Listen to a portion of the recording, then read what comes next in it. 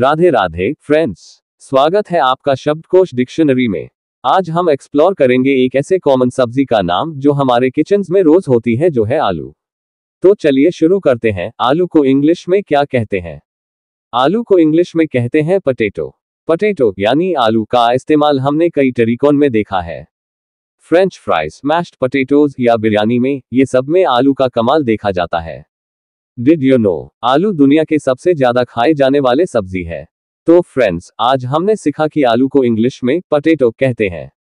अगर आपको ये वीडियो पसंद आया हो तो लाइक करें शेयर करें, और हमारे चैनल शब्दकोश डिक्शनरी को सब्सक्राइब करें। राधे राधे, और मिलते हैं अगले वीडियो में।